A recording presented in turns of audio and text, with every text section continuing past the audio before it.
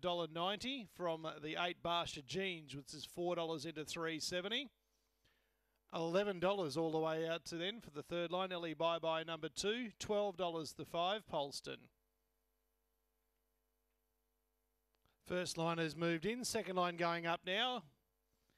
The second line includes the odds on elect. Little live wire, $1.90 for Tony Hoyland. Green light on the first of a dozen on a Sunday evening. Favourite in the blue, racing. Little live wire about fourth away.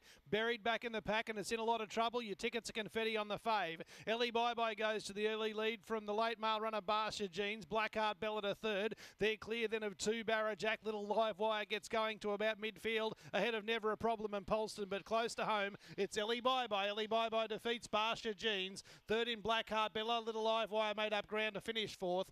Two Barra Jack from Never a Problem in behind them. Nirvana Beach in company with two Barra Jack near the tail, and the time there is a